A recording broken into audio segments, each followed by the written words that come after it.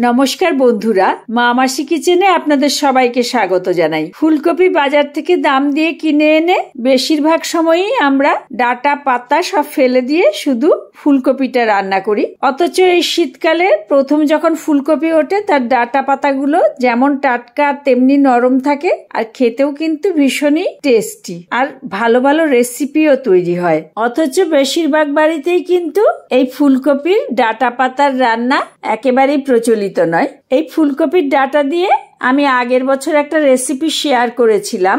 আজকে ফুলকপির ডাটা দিয়ে অন্য রকমের আরও একটা দুর্দান্ত স্বাদের রেসিপি শেয়ার করছি। আর পরবর্তীতে ফুলকপির পাতা দিয়েও দারুণ স্বাদের রেসিপি আপনাদের সঙ্গে শেয়ার করব। আমি ফুলকপির ডাটাগুলোকে ছাড়িয়ে নিয়ে এরকম সরু সরু করে কেটে নিচ্ছি।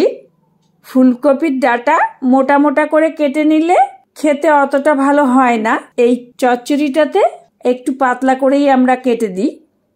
তাই আমি ভিডিওতে যেভাবে দেখাচ্ছি, ডাটাগুলোকে সরু সরু আর টুকরো করে কেটে নিতে হবে।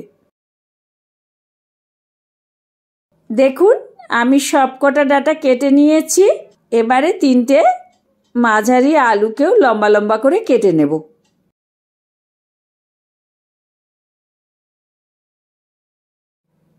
আলু কটাকেও লম্বা লম্বা পাতলা পাতলা করে কেটে নেওয়া হয়ে গেছে। এবার ফুলকপির ডাটাগুলোকে একটা কড়াইতে নিয়ে খানিকটা জল দিয়ে ভালো করে সেদ্ধ করে নেব। এখানে দেখুন, আমি দেড়খানা রসুনের কোয়া ছাড়িয়ে নিয়েছি। এগুলোকে আমি এখন একটা হামানদিস্তায় একটু ছেঁচে নেব। রসুনটা একটু থেতো করে নিলাম। এবার আমার ফোড়নে যা যা লাগবে সেগুলোকে নিয়ে নেব। নিয়ে নিচ্ছি পৌনে এক চামচ কালো জিরা, দুটো শুকনো লঙ্কা আর দুটো কাঁচা লঙ্কা চিড়ে নিলাম। তবে এই কাঁচা লঙ্কাগুলো ফোড়নে ব্যবহার করব না, পরে লাগবে। এদিকে দেখুন, ফুলকপির ডাটাগুলো ভালোভাবে সেদ্ধ হয়ে গেছে। আপনারা আমার মতো যদি কড়াইতে সিদ্ধ করেন, তাহলে কিন্তু সেদ্ধ হতে খানিকটা সময় লাগবে। কারণ ফুলকপির ডাটাগুলো একটু শক্ত হয়, খানিকটা সময় লাগে সিদ্ধ হতে। তাই আপনারা চাইলে এমনি কড়াইতে সিদ্ধ না করে প্রেসার কুকারে দুটো সিটি দিয়ে নিতে পারেন। এখন এই ডাটাগুলোর জল ঝরিয়ে রেখে দেব। কড়াইতে দুই টেবিল চামচ মতো সর্ষের তেল গরম করে নিচ্ছি। তেল গরম হয়ে গেলে প্রথমে দুটো শুকনো লঙ্কা দিয়ে দেব। একটু নেড়ে নিয়ে কালো জিরা আর রসুনটা দিয়ে এক মিনিট লো টু মিডিয়াম আছে ভালো করে ভেজে নেব। আমি একটুখানি কালো জিরা রেখে দিলাম, এটা আমি পরে ব্যবহার করব। রসুনটা বেশ ভাজা ভাজা হলে আলুগুলো দিয়ে দেব।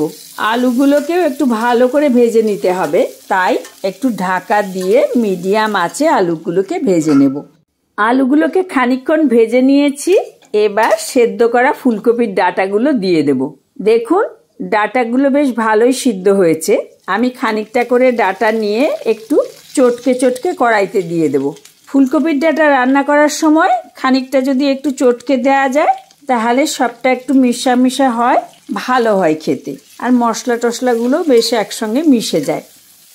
একবার একটু নেড়ে দেব।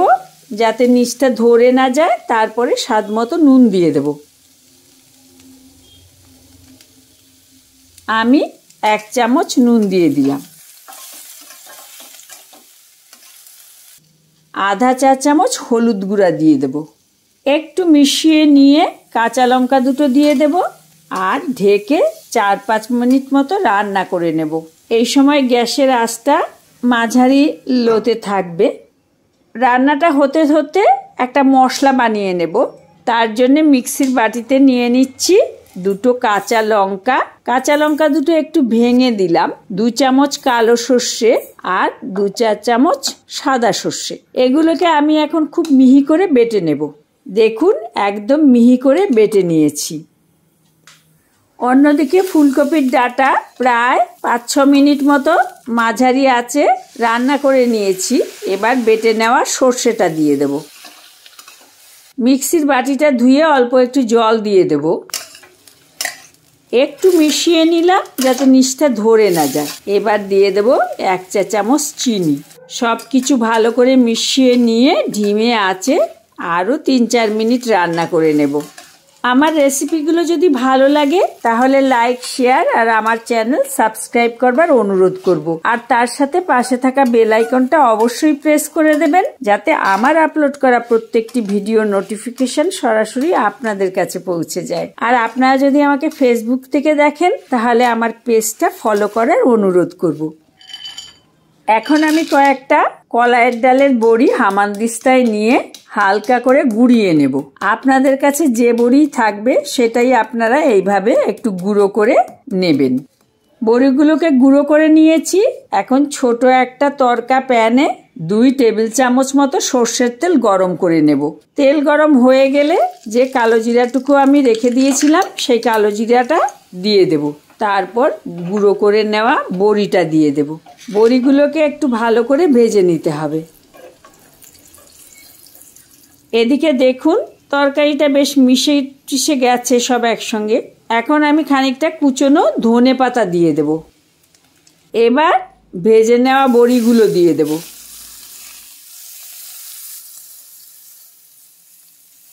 ব্যাস, আমার রান্নাটা একদম রেডি। আমি আর বেশি মেশাবো না, এটাকে এভাবেই তুলে সার্ভ করে দেব। ফুলকপির ডাটা ফেলে না দিয়ে এভাবে রান্না করে দেখুন, খেতে ভীষণই ভালো লাগবে। বিশেষ করে যখন প্রথম ফুলকপি ওঠে, সেই সময় এই রান্নাগুলো অমৃত মনে হয়। আমি আগেও একটা রেসিপি শেয়ার করেছিলাম, সেটার লিংক আমি ডেসক্রিপশন বক্সে দিয়ে রাখব।